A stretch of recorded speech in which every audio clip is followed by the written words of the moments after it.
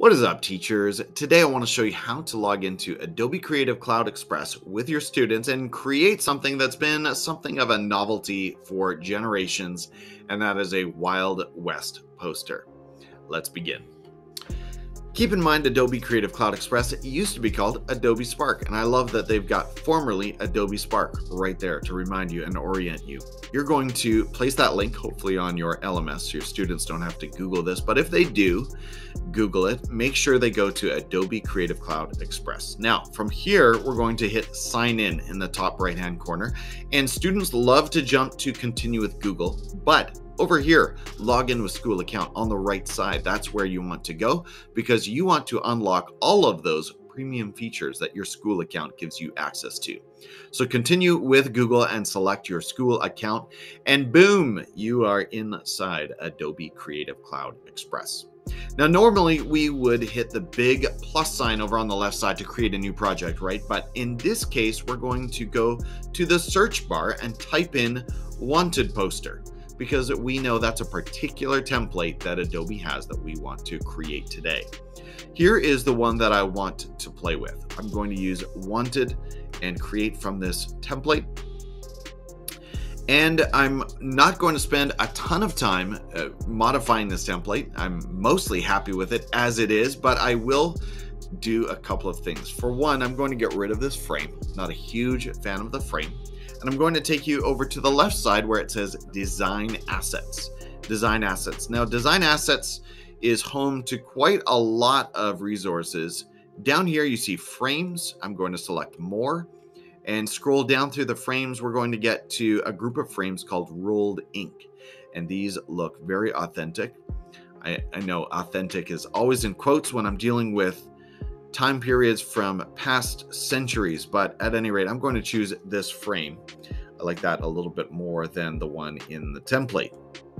We're going to put it into position and it's going to sit right about here. We'll use our centering lines and tools to do that.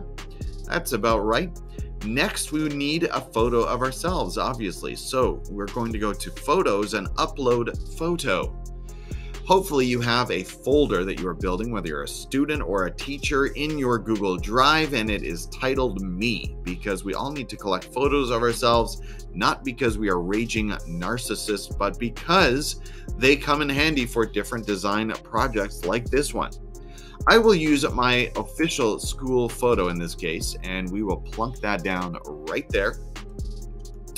First thing we'll do is move it over into position. Next, we're going to remove the background. So get that background out of there, and I am okay with that. Give that the check mark.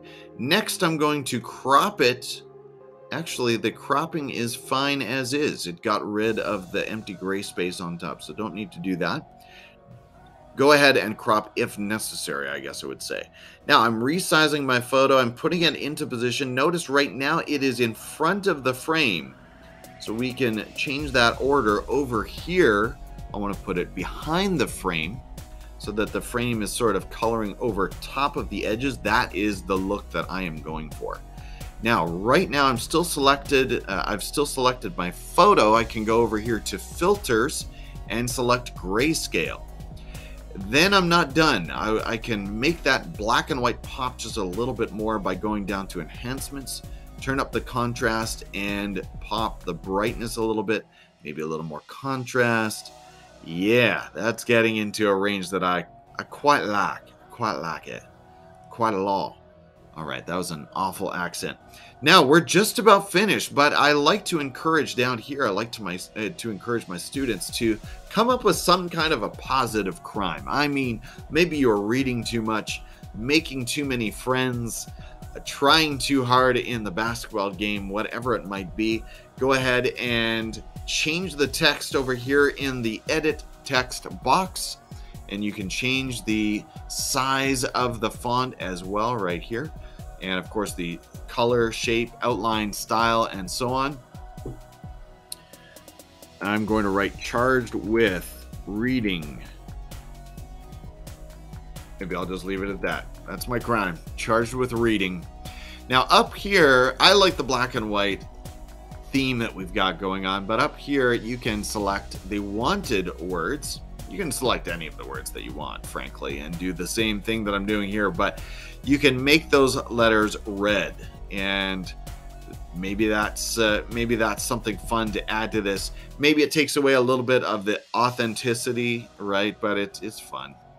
And you can give those letters a white outline. Now that becomes more of a graffiti style, or you can take that right down to a very thin white line, whatever you want. And don't forget, if you are submitting this photo or this new image on your LMS or Google Classroom, you need an image. You actually need an image file. So we're going to go over here to download. And I always recommend downloading a PNG.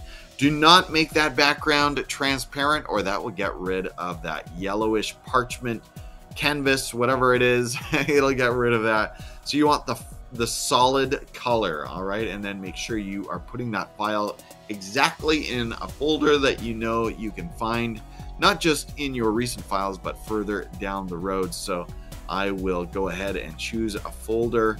In fact, I'm going to put this back in the me folder, my project. And actually a better file name would be me hyphen wanted poster or something like that that is it. That is how to create an Adobe Creative Cloud Express wanted poster.